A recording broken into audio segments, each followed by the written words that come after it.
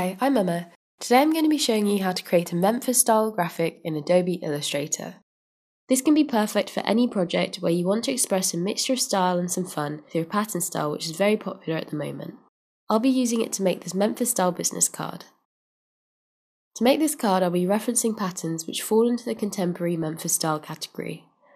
Like the original Memphis group designs, these are characterized by bright clashing colours, geometric shapes and playful compositions However, instead of the traditional red, yellow, and black, the colours tend to follow a more neon or pastel palette.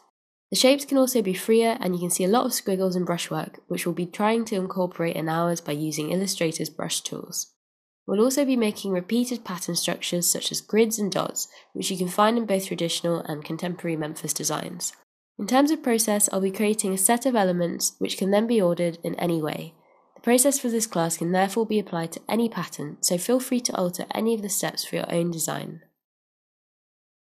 To start off with, I'm going to set up my canvas size of 750 by 423 pixels, which is the size of my business card. If you're planning on designing an item with a different aspect, feel free to change this to suit your own project. In this project, I'll be using a handful of different panels. These can be found under Windows in your taskbar. For this lesson, I'll be using Pathfinder, which we'll be using to add and subtract shapes. I'm also using swatches, which we'll be using to create color groups, and pattern options to create some of our own pattern textures. So feel free to set up these on your screen. I'm going to create a selection of color swatches and put these in a group to start off with. To do this, I like to draw out a square using my rectangle tool and copy it across by holding down Alt and dragging. I then repeat this command three more times by pressing Ctrl and D on my keyboard. With my squares set up, I then use the fill tool to assign a colour to each square. When all of my squares are coloured, I select them all with my select tool, and when they're all highlighted, I click New Colour Group on my swatches panel. So now they're in my swatches and my colour swatches are saved. With that set up, I'll move on to creating my pattern swatches, which also sit inside my swatch panel. To begin with, I'll start with a simple dot pattern. You can often find these in Illustrator, but I like to make my own since they're really easy to set up and make. So to begin with, I draw a circle using the ellipse tool and holding shift. I then use my transform panel here to change my size and I'll make it 10 by 10 pixels. I then go to my patterns window and select make pattern from the drop down menu. This opens up my pattern tool. In here we can edit our patterns by changing elements, changing the repeating tile size, and the way the pattern repeats.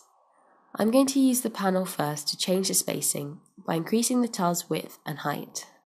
With my pattern shown in grey, I can see where changes need to be made. In this case, my tile and my element are too big, so I'm going to change my circle size to 5 by 5 and my tile size to 10 by 10, and that produces something closer to what I want. Then when I'm happy, I'll click done and that will save my swatch. To test my swatch, I'll draw out a rectangle and from here I can see my pattern repeating in my working artboard. Illustrator has a few tools to help you edit your pattern without having to enter back into the pattern edit window. These include scale, move and rotate. However, these changes won't be made to your pattern swatch, so if you want to repeat the changes, I recommend keeping your edited pattern outside of your artboard so you can use the eyedropper tool to select it again later. To scale your pattern, go to Object, Transform, Scale. Once the scale window appears, make sure you untick Transform Object and that Transform Patterns is on along with Preview. From here you can enter percentage values to rescale your pattern. To make my pattern appear less square, I'm also going to use Rotate. To use this, I go to Object Transform again, and this time pick Rotate. I'm going to go for an angle of 45 degrees, and that's my dot pattern done. And to quickly keep my adjustments for later, I'm going to move my rectangle off my artboard. Next I want to make a grid pattern. This is another common motif in Memphis style patterns and often looks good in the background of larger, busier patterns. I should add at this point that when I'm making my elements at this stage, I'm not always going to use all of the patterns but it's good to have a variety to play with, which is what we're doing. So to make my grid pattern, I start off by drawing a square and I select the colour I want it to be. I then change it to stroke. This time I'll drag it onto my swatches panel to make a swatch pattern, which is another way to make a pattern in Illustrator. Then to edit it, I'll double click on my swatch and this will bring me to the pattern edit window. Inside pattern edit, I can transform my pattern as we did before. Since my line weight is doubled as a repeat, I'm going to half it. Doing this means my tile no longer repeats as a grid, thanks to the white spaces in between. So to fix this, I'm going to tick Scale to Artwork. Now I can click Done, and when I draw out a rectangle and select my new swatch, I can see the repeat has worked. Now I'm going to draw out my geometric shapes, which are going to be the main elements of our design. To start off with, I'm going to draw out the four principal shapes. These are the square, circle, triangle, and line. From this we can manipulate and transform these shapes to create an array of other designs. To draw my shapes, I'm using the Shapes tool in my tool palette. To make the triangle, I'm using the Polygon tool and using the minus transform tool here to, make, to change my number of edges. This can be controlled by dragging in and out. To then create the lines, you can either use the pen tool or the line tool. I've given my shapes a thickness of 10 and filled them with my colour swatches. For more variation, I'm going to create some more shapes from these four. To make my donut, I copy my circle by holding Alt and dragging. I then go to Object Path Offset and enter in a value of minus 20 pixels. To make the next step easier, I then get rid of the strokes on both of my shapes.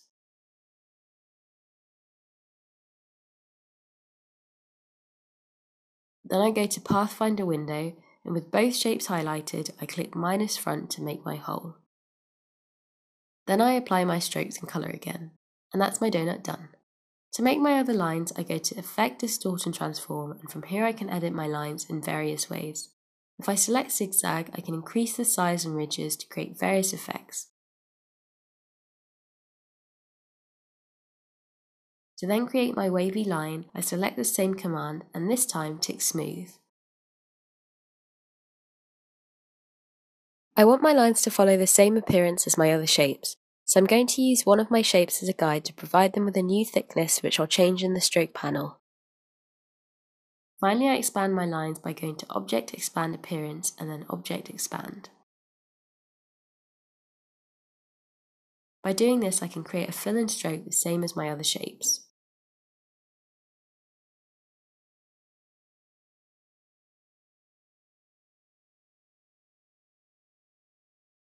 Now I have my shape set up, I can start designing my business card. For this layout, I've prepared some example text for my card, which I've aligned to the left-hand side. If you're also designing a business card, I recommend going for a sans serif font to go with this modern style. As a tip, Memphis composition can work really well with a dynamic composition. This can mean using diagonals across your artboard, which evoke movement and direction. Having elements come outside the bounds of your board can also create a similar level of excitement and dynamism. For myself, using the pen tool, I've created straight edge shapes which appear to fall off the card and are placed diagonally with various colours from my swatches. I've then created added tension with an oversized circle which sits between the two.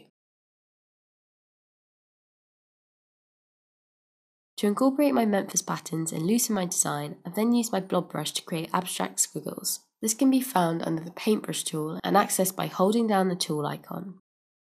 By double clicking on the brush, you can open the blob brush panel. In here, you can adjust size, angle, and spacing. I then quickly drag my brush to create a series of shapes, and then use the sample we made before to apply the correctly scaled dot pattern by using the eyedropper tool.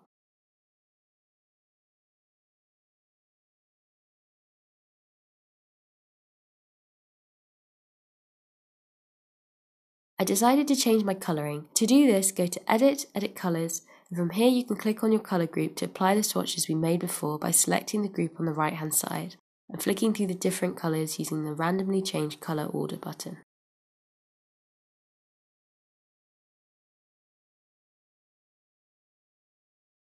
I've then placed my squiggles off the board similar to the shapes to tile for later. Since this pattern is about experimenting, the next part involves moving the pattern elements into place until they start to feel right. In this case, I've decided to place transparent elements like my squiggles in the background and my block shapes in front. When placing your elements, try to place everything evenly and slightly randomly, including altering attributes like orientation. Like with the background elements, also try to have things fall off the extents of your board to suggest an ongoing pattern. The key is to create something playful and almost confetti-like. Try to vary the type and colour of patterns which sit next to each other and make your white space in between more or less equal. Like with the background elements, also try to have things fall off the extents of your board to suggest an ongoing pattern. Once you've finished ordering your patterns, you might want to stylize your elements further. Select all of your elements by clicking and holding shift, then press Ctrl G on your keyboard to group. Once they're grouped, press Ctrl C on your keyboard to copy. Before pasting your new selection, colour in your group shapes with the colour from your swatches to create a shadow. Holding shift, offset your shadow 45 degrees from where it originally sat. Then press Ctrl Alt V on your keyboard to paste your objects in place, and this creates your shadow effect. When your shapes are placed and you're happy with the style, you might want to crop your design. To do this, draw a rectangle the same size as your artboard on top of your design. Select everything, then right click on your shapes and select Make Clipping Mask Finally, with the design done, you might want to experiment with colours. For this step, I like to copy my design onto a new artboard by dragging my original artboard into the new artboard icon. I then start with one of my boards and highlight everything with my select tool. Then I go to Edit, Edit Colours, and using the switch tool again, you can rearrange your colour combinations. You can also edit your colours individually to introduce new schemes. When you're happy, select your artboard and go to Save for Web to export your image in JPEG or PNG format. And that's your Memphis design done.